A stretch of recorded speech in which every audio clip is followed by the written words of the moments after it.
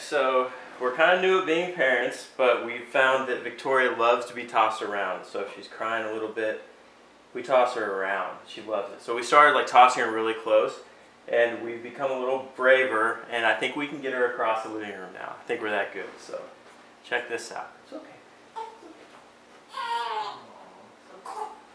Alright. Ready? One, two.